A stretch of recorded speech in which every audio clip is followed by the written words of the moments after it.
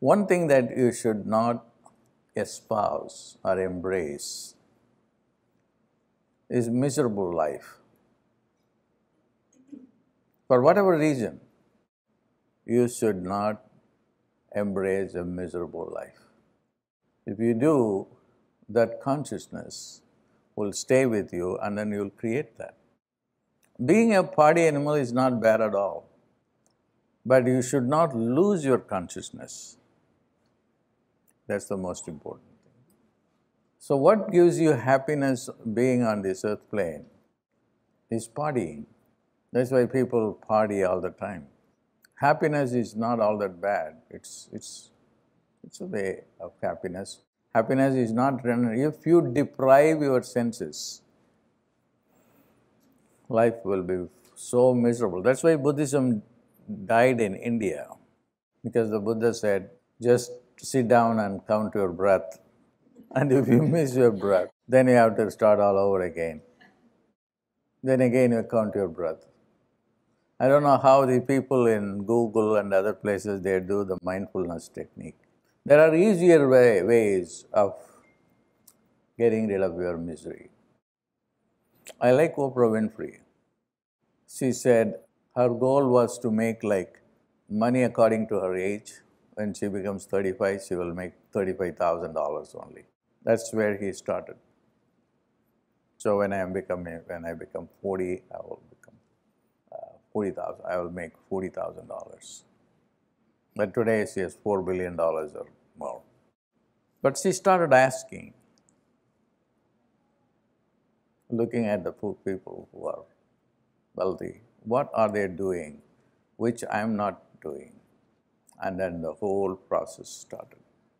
So, what I am going to do is to get rid of, help you to get rid of the consciousness that created this reality.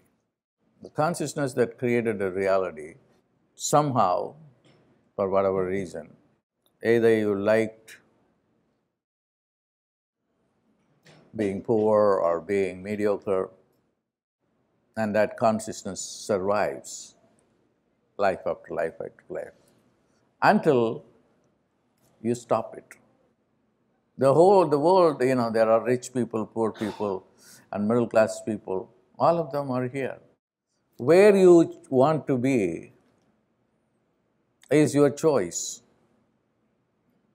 And depending upon the choice, you are born in a Bel Air or, or Beverly Hills, or born in a slum in India China or any other place. That is the soul's choice.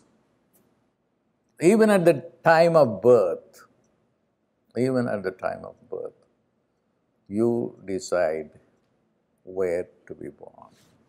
I want everybody to have that kind of consciousness, to evolve to that level. First thing you have to do is to get rid of whatever karma you have. Karma is a thought process.